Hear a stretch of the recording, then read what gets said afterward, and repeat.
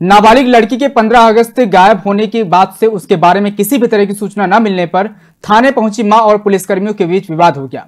माँ ने पुलिसकर्मियों पर आरोप लगाते हुए कहा कि बच्ची की तलाश के लिए पुलिसकर्मी पैसे की डिमांड कर रहे हैं। उधम सिंह नगर के दिनेशपुर थाना परिसर में उस वक्त हंगामा खड़ा हो गया जब ग्रामीण महिला अपनी नाबालिग बच्ची की तलाश कराने के लिए पुलिस के पास थाने पहुँची। इस बीच थाना परिसर में किसी बात को लेकर पुलिस कर्मियों और ग्रामीण महिलाओं के बीच कहासुनी हो गई। देखते ही देखते पुलिस कर्मियों एवं ग्रामीण महिलाओं के बीच धक्का मुक्की होने लगी। बड़ी मुश्किल से थाना अध्यक्ष अनिल उपाध्याय ने मामले को शांत कराया। इस दौरान ग्रामीण महिलाओं ने पुलिस के ऊपर कई गंभीर आरोप लगाते हुए कहा की उनकी नाबालिग लड़की पंद्रह अगस्त ऐसी गायब है। लेकिन पुलिस पुलिस ढूँढने का प्रयास नहीं कर रही है। लड़की ढूँढने के नाम पर पुलिस पैसे की डिमांड कर रहे हैं। पूरा मामला क्या है? कोई रिपोर्ट ही नहीं लेता था और अब परेशानी हो गई है हमें। वो सरदार के साथ गई है उसका पूरा पता बता दिया ये लोग सारा काम करके दिया। और तब भी हमको कोई कोऑपरेट ही नहीं कर रहा है और कह रहे हैं अभी टाइम लगेगा वाल।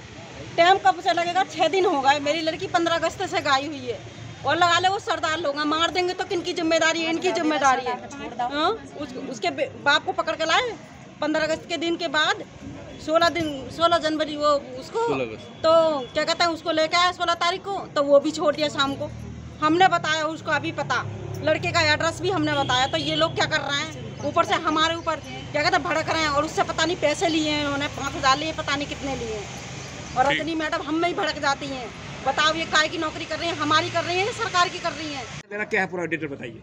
इसकी डिटेल ये है सबसे पहले पंद्रह तारीख को लड़की पंद्रह अगस्त के दिन स्कूल में आई थी। स्कूल के बाहर अब पता नहीं किसके साथ आई किसके साथ कौन ले लेके गया। उसके बाद फिर हम शाम के टाइम तक उसे देखा सहेलियों के घर रिश्तेदारों में कि लड़की है तो नहीं कहाँ है लड़की?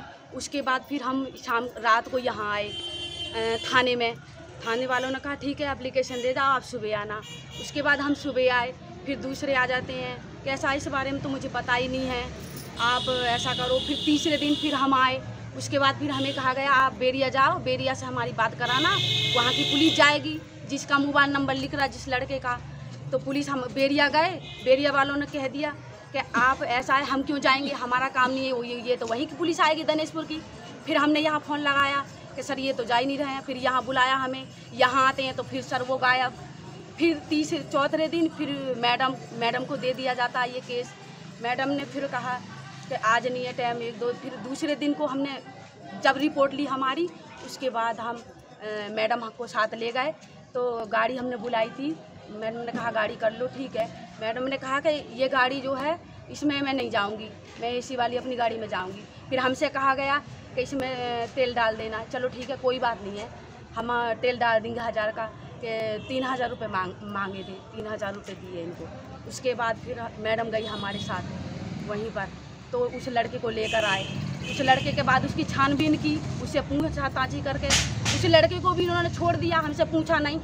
उसे भी छोड़ दिया। उसके बाद इसके, ये जो लड़का चोर, हमने वीडियो कैमरे में देखा।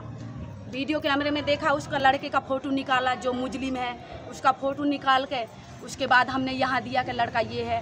फिर उसके घर भी हमने पता किया तो ये जब हमारे साथ गए, उसके घर गए, हम लड़के को, बाप को उठाया, उसके बाद उठा के जो हम साथ में गए थे, हमें उतार दिया गया और उसको पता नहीं लड़के के बाप को कहाँ से छोड़ दिया। उसको छोड़ दिया, फिर बाद में वही किस्सा। फिर हम दूसरे दिन, फिर आते हैं तो मैडम कहती है कि लड़की तुम्हारी मिल गई है ठीक ठाक है। आ जाएगी, तुम्हें हम बारह बजे तक दे देंगे। लेकिन अभी तक कोई पता नहीं है। अब छह दिन हो गए। इस मामले पर थाना अध्यक्ष अनिल उपाध्याय ने कहा कि तहरीर के आधार पर मुकदमा दर्ज कर लिया गया है। पुलिस की टीमें गठित कर दी गई हैं जल्द ही लड़की को बरामद कर लिया जाएगा। एक नाबालिग बच्ची से संबंधित एक मामला है जिसमें हमारे द्वारा एफआईआर दर्ज कर दी गई है जिसमें एक विशेष टीम बनाई गई है जिसमें रजनी गोस्वामी को प्रभारी बनाया गया हुआ है और कर्मचारियों की टीम बनाई गई है। एक सब इंस्पेक्टर ऑपरेटिव उन्हें भी इसमें शामिल किया गया है और जल्दी से जल्दी हम इसे बरामदगी करने का प्रयास कर रहे हैं। देखिए उनका कहना यह है कि जल्दी से जल्दी बरामद किया जाए हमारी बेटी को तो स्वाभाविक सा रहता है कि किसी की बच्ची अगर गुम हुई रहती है तो मन में थोड़ा सा आक्रोश रहता ही है। तो उनकी बातों को सुना और समझाया और समझ भी गए और पुलिस को भी कोऑपरेट कर रहे हैं और हम भी जल्दी से जल्दी इस पर एक्शन लेते हुए तुरंत बरामद करेंगे।